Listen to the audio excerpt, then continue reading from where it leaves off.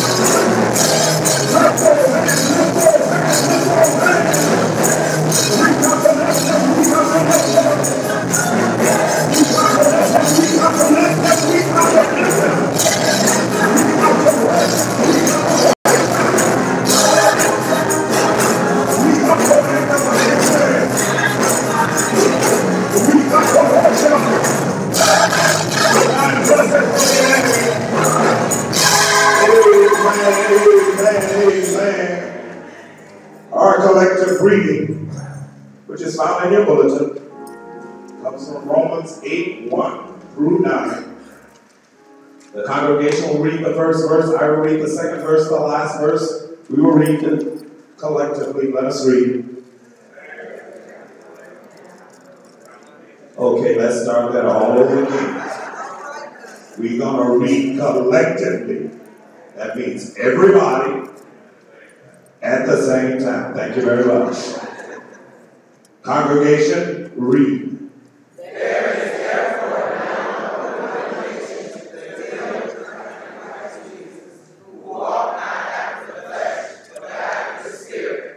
For the law of the Spirit of life is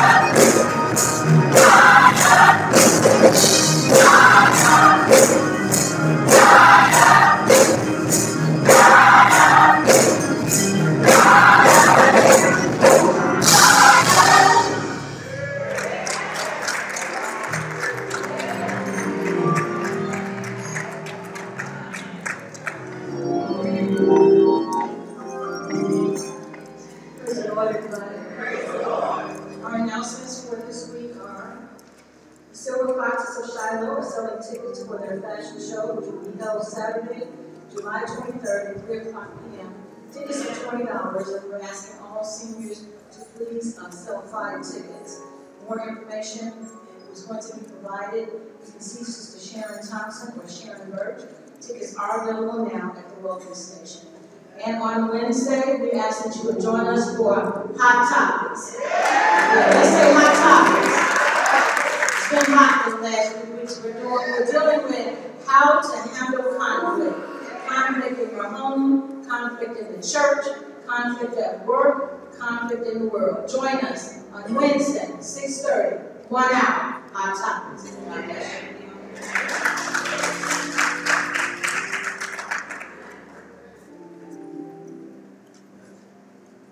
Praise the Lord. It is just good to be in church one more time. See,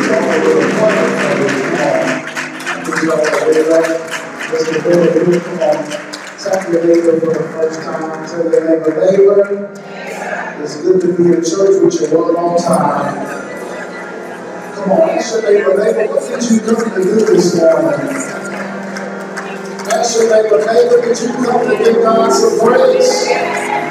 Come on, you talking back to the wrong neighbor because if you were talking to the right neighbor, come on, you should have just busted out and started giving God some praise.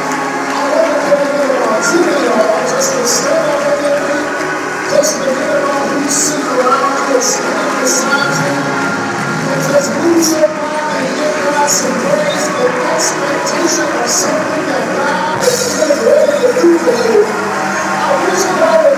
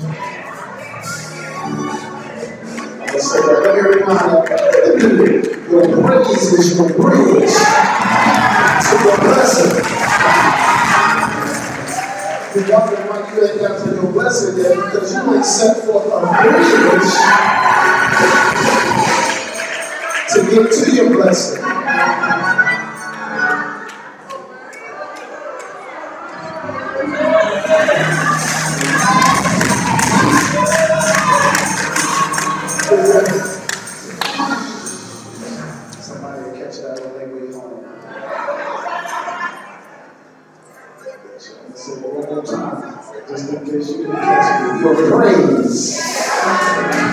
is your bridge to your blessing. Listen, I'm gonna get over the Lord one more time. Listen, the last time, grab your neighbor, put your voice on. Come on, you can a preacher right now.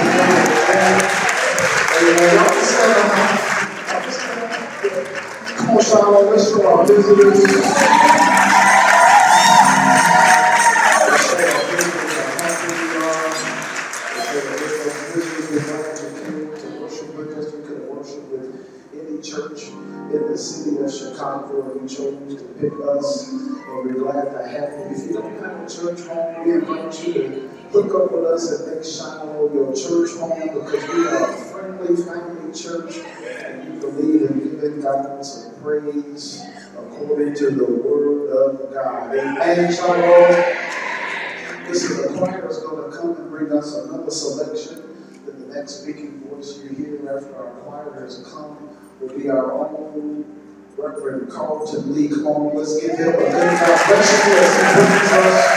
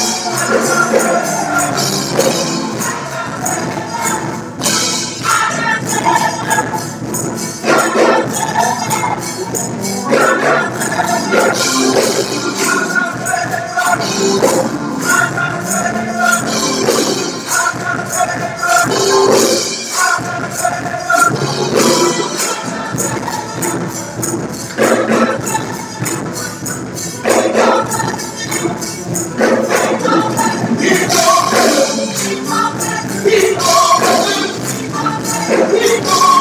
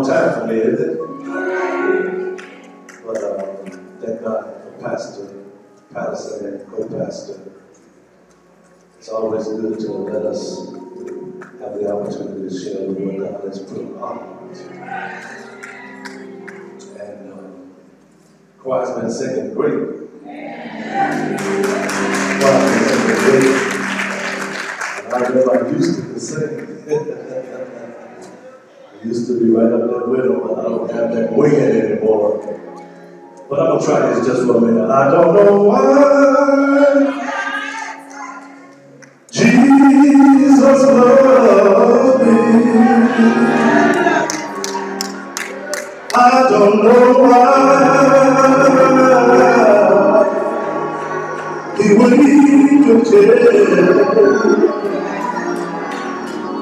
I don't know why. He will life.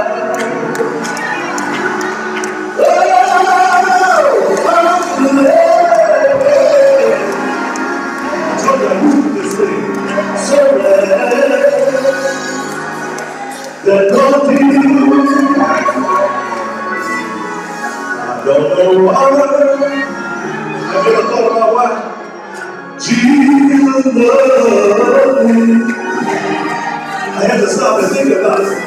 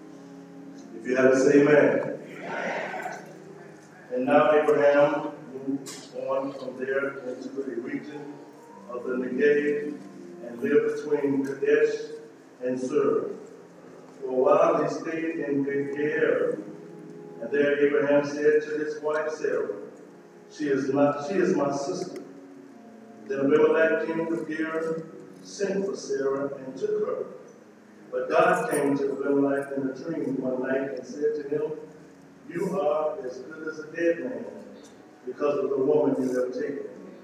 She is a married woman. Now Abimelech did not go near her. So he said, Lord, will you destroy an innocent nation? Did not he say to me, She is my sister? And didn't she also say, He is my brother?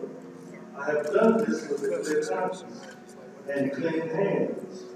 Then God said to him in a, in a dream, Yes, I know you did this with a clear conscience.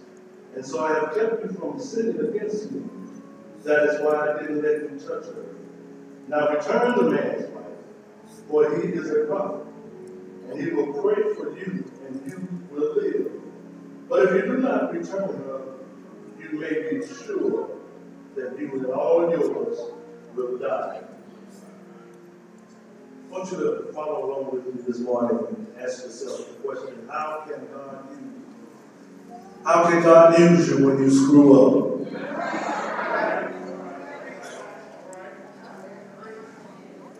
How can God use you when you screw up?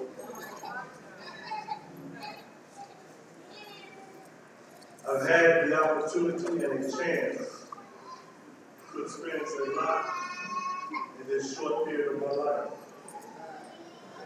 Don't laugh.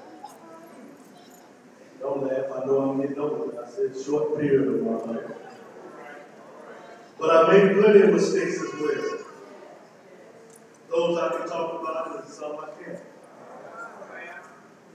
Today, because of my growth in my spiritual life, I can say God has been good to me. But my real experience with Him didn't come right away. I've had to go through some rough times. I'm sure I'm not by myself. Some of us too have gone through some rough times. Some you can tell, some you can't tell. Can I get a witness? I didn't grow up a rich kid. There was a class of people that used to classify your status in society. We may be considered middle class now. But I can say during my time of growing up, I was beg to differ with that statement. The way the government did things, they left out lower class. Because we weren't at the poverty level. We did have a roof over our heads, lights, few outfits to wear, but not much. I watched my mom raise three children as a single mom. Times were hard, but as I grew, they started getting better. We went from the projects to a house in Act. Even though that was a great move for us, things still was tough. Even more than now, than before when we were in the projects, because now that you're a homeowner, things get tough. I vowed if I could that I would help us get through those times alone with my brother, and we did. Got out alone, had to experience life by myself now. Made plenty of mistakes until I felt like I was a total screw up, and God was punishing me for all the wrong I had done. Even the ones I hid from mom, cutting through, that doing what was expected of me. Some that even over to adulthood. I wondered why life has been giving me in mind such a rough time. I thought God wasn't hearing my mom's prayers or mine. I thought I had screwed up so much until God had abandoned me. Sometimes in life, you can be made to feel like that. Like you're all alone. Ever had that feeling? Ever had that feeling like, felt like you were all by yourself? And because you felt that way, you started slacking in the things you did spiritually. Feeling like maybe your prayers wasn't being answered because of your actions. You started feeling low, guilty, and whatever else the devil puts in front of you. But I come to tell somebody that's sitting here this morning, God can use you. God can use you. You all know I like to tell a story. And this story goes like, as a Christian, just like you and I. Let's call him George, just for the sake of a name. George woke up one morning after a remarkable weekend. Family time was spent. Church services were excellent that Sunday. George even had testimonies and answered prayers in his own life. The preacher's message had moved him and several other people, so much so that the church members felt the need to kneel at the altar and. The next morning, George was running late for work. And as a result, he pulled into the parking lot a bit too fast. He found his space and turned the wheel sharply and managed to scrape the neat line down the length of his boss's car. Jumping out of dismay, George noticed that his car was unarmed. A light immediately came on in his head. It took only a second for him to get back in the car and find a new spot. Several spots.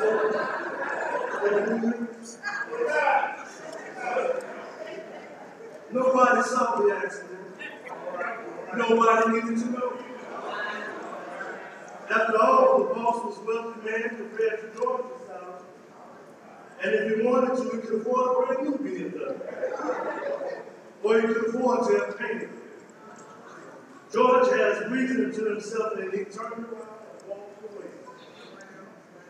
As the day wore on, all George could think about was the outcome of the accident and how he was blessed in the whole incident. All right, all right. After all, there wasn't even a smudge on George's car. George felt like that was a blessing. So George started saying to himself, the incident was intended to be a curse to my boss for his greed.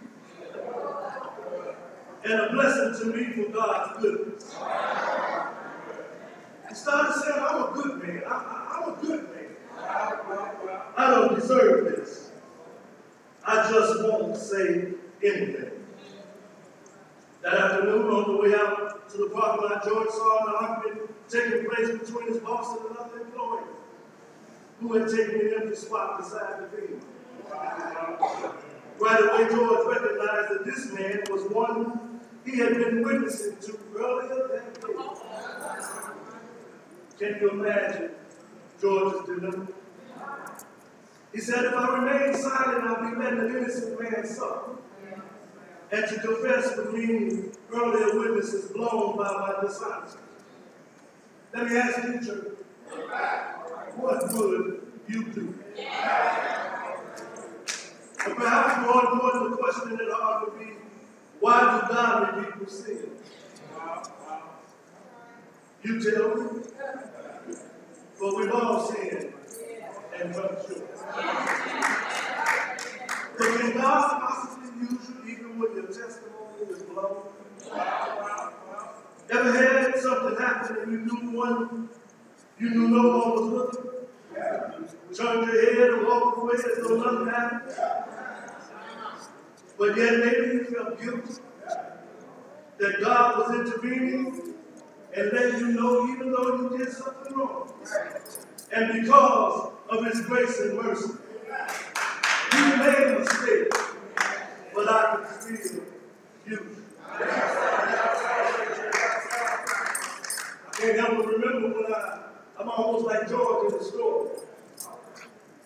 I was learning how to drive. Trying to learn how to drive. Mom sleep. Left the keys on the table. I grabbed the keys and jumped in the car. Started driving around the neighborhood. Anybody know Jeffrey Wright got all these turtles and tossed And lo and behold, that I sideswiped somebody's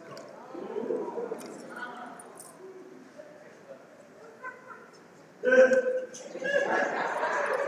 Ran back the house, put the keys on the and never said nothing about what had happened. I let mom believe that she had gone to the grocery store. Somebody's the grocery store and it wasn't me. I felt guilty and was too afraid to tell and nothing and was not even considering consequences of who I had inconvenienced. Chapter 20, Genesis chapter 20 is what we visit Abraham's life and God's intervention. This is where Abraham deceives Abimelech. Abimelech moved south to the Levine and lived there for a while. Then he moved on to Gerar while living there as a foreigner. Abraham introduced his wife, Sarah, by saying she is my sister. In reading this and hearing this story being told before Sean, I, I heard a lot of theologians say Sarah must have been a real looker. Yes, sir. Sarah must have been a real looker. Nothing against you, honey. You were looking real well. But people say, people say, not me, that she was a looker. Fine, if you will. Abimelech sent for Sarah and her brought to him at his place. Now, using my imagination, Abimelech, Kevin started wining and dining Sarah. Something most men do when they're around single women. Hopefully single women. They try to impress her. But this thing went on until late that night. And that very night, God came to Abimelech in a dream and told him, You're a dead man. For the woman you have taken is already married. Now, this is a scary thing to hear from God, even in a dream. But the point had to be made to Abimelech. Abimelech hadn't slept with her yet. He said, Lord, will you destroy an innocent nation? Did Abraham not say to me, She's my sister? And she herself said, Yes, I am his brother. I acted in complete innocence. My hands are clean.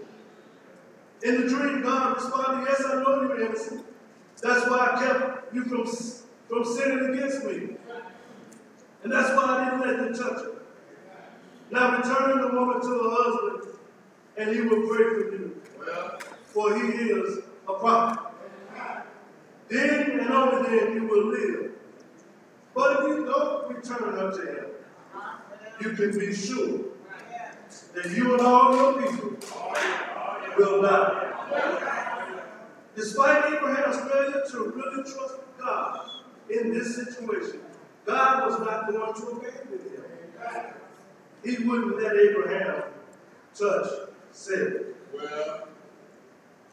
I wonder if we've ever given any thought into asking ourselves the question, can God use me when I screw up? Can I recover?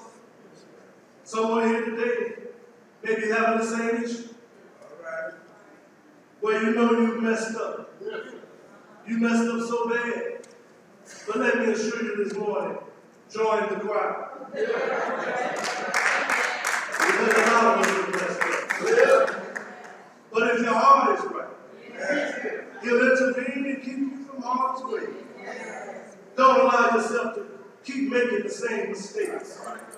You must fear God first and know that His ways are the only way. How many of us can really say that we fear God? How many of us can really say that we fear God? And if so, then why is it so hard for us to obey Him? If we go back to chapter 12, we'll find Abraham was living by fear. We see, we see here where Abraham had promised, had the promised blessing jeopardized. As he approached him, he said to his wife Sarah, Look, I know that you're a beautiful woman. When the Egyptians see you, they'll say, You're my wife. Then they will kill me and spare you. Just tell them that you're my sister so that I may go well for me, so that it may go well for me. Because you, Sarah, my life will be spared.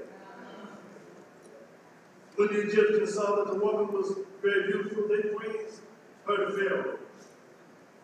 They took her into the household of Pharaoh and, and did treat Abram well on the account of her. Abram was rewarded gratefully for that. Then the Lord spoke to Pharaoh and his household with severe diseases because of Sarah. Well, Pharaoh said to Abraham, Man, what is this you've done to me? Well, Look at verse 11 in chapter 20. Surely no one fears God in this place. They will kill me because of my wife. You see, Abram's only motive was fear. Nothing more, nothing less. In reality, he displayed a greater fear of men than of God. Stick a pin in that this morning. I do believe we as a people fear God, fear, we fear man more than God. Why? I'm glad you asked.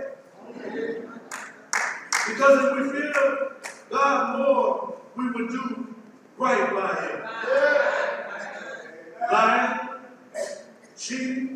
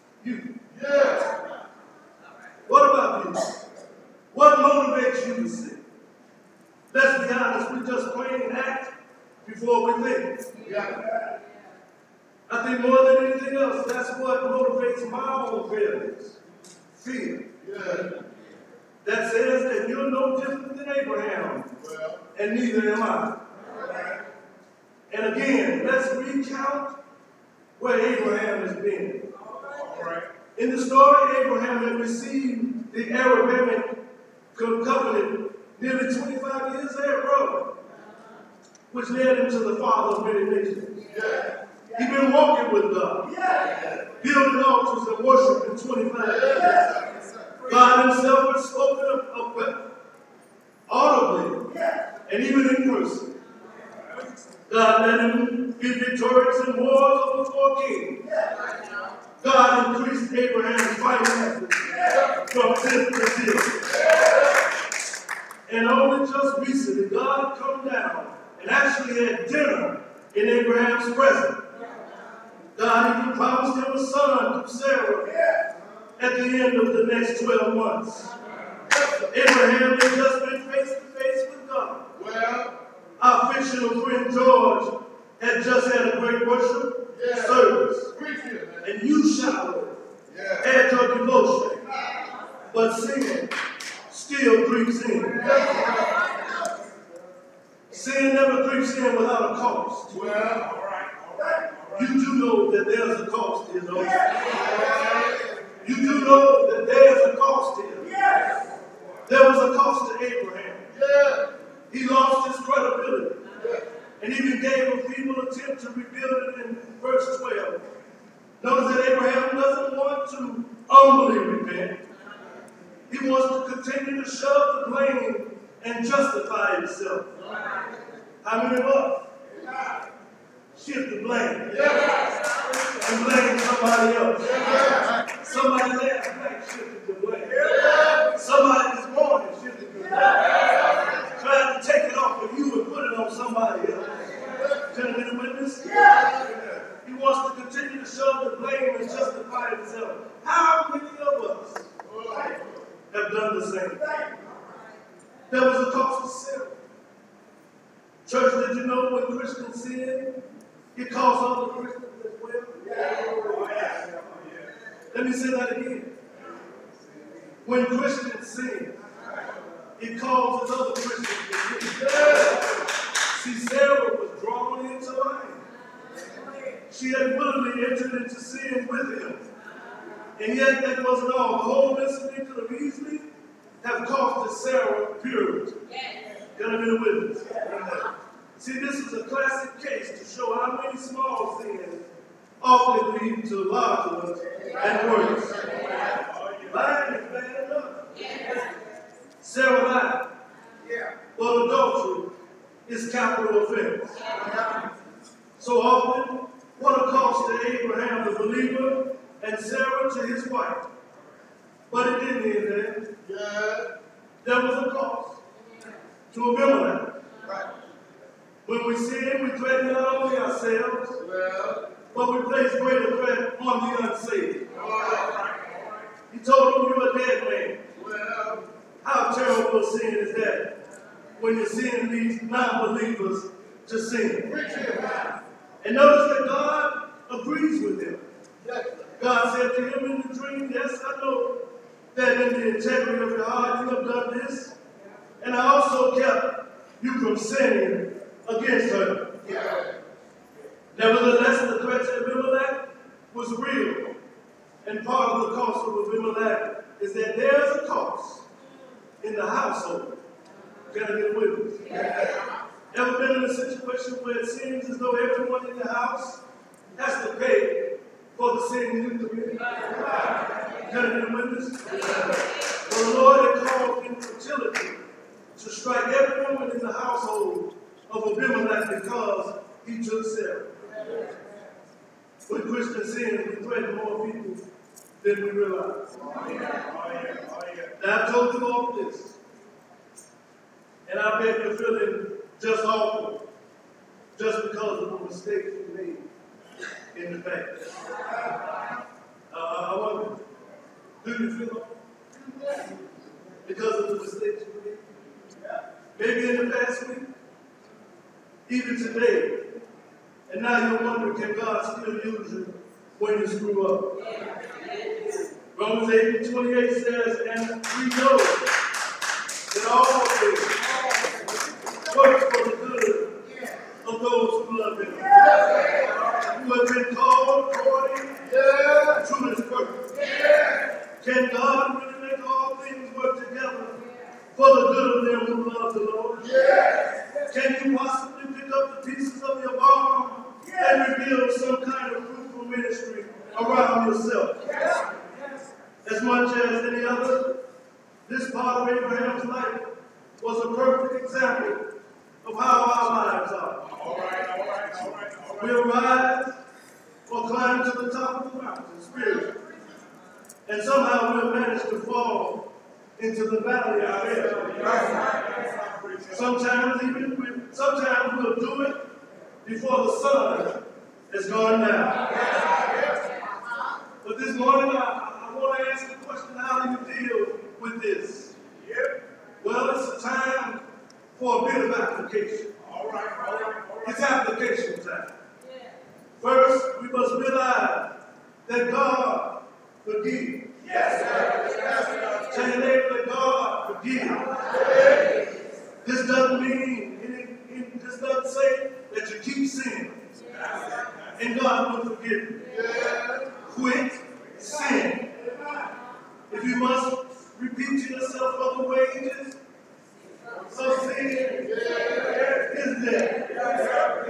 For the gift of God is eternal life. The point here is the summation of Abraham's life is not one of failure, but of faith. The testimony of the scriptures is proof that even through Abraham wasn't perfect, God was able to still use him. Secondly, we must realize that even repetitive sin is not impossible for God to cure. Repetitive sin is not impossible for God to cure. Remember that Abraham had been before in chapter 12, as long as you are alive, and as long as you can run to Jesus, God will continue to work with you. It says in uh, John, 1 John 9, if we confess our sins, He is faithful and just, and will forgive our sins, and purify us from all unrighteousness. He promises forgiveness whenever we confess. Promises that God won't quit working on you until you either die or Jesus returns. My third, and final point is realize that God can intervene to protect the innocent. God can intervene to protect the innocent. Notice that God wasn't protecting the Abimelech here. God was protecting the Abimelech here and not Sarah. For God himself says, I know that in the integrity of your heart, you have done this. And I also kept you from sinning against me. Therefore, I didn't let you touch. Just like God stepped in and intervened and stopped Abimelech from sinning, God can do the same for you. Can I get a witness? In the many years of ups and downs, we've learned a few lessons about God's will and the big stupid mistakes we average people make. And it all boils down to having a biblical practice or experience with God. We make mistakes. We worry that we're falling out of God's will. You probably heard people talk about missing out on God's perfect will.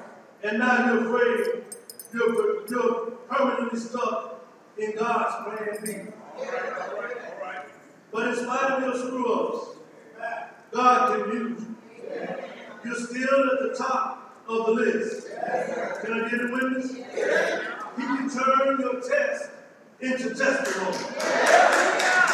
When you talk about the goodness of God, no matter where you are in life, He can still use you, even when you screw up.